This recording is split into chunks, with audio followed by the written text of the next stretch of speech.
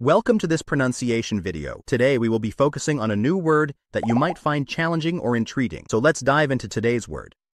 URL, which means Uniform Resource Locator, an address for accessing information on the internet. Let's say it all together. URL. URL.